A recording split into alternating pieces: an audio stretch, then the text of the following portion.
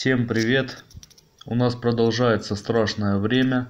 Люди прячутся в убежищах, чаще всего в подвалах. Но мы видим, что много случаев, когда подвалы засыпает. И если прятаться в убежище, то оно должно быть оборудовано. Безопасным является помещение с двумя и более выходами наружу, которые размещены в противоположных сторонах друг от друга. Минимум два выхода нужно на тот случай, если один завалит. Если выход один и нет вентиляции, то в случае задымления и блокировки выхода выжить будет невозможно. Помните это. Если подходящего убежища нет или оно не готово, следуйте простому правилу двух стен. Это значит, что между вами и улицей должно быть как минимум две стены. Что это дает? Первая стена берет на себя силу взрыва, а вторая принимает на себя осколки и следствие разрушений.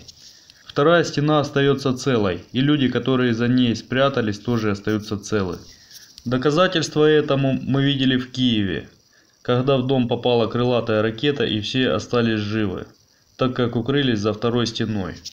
В зале нам удалось спастись, мы были на кухне, повезло, попасть, прямое попадание в, зал. В 90% домов правило двух стен работают уже в прихожей вашей же квартиры. Выйдя в коридор, вы уже условно в безопасности. Помните это.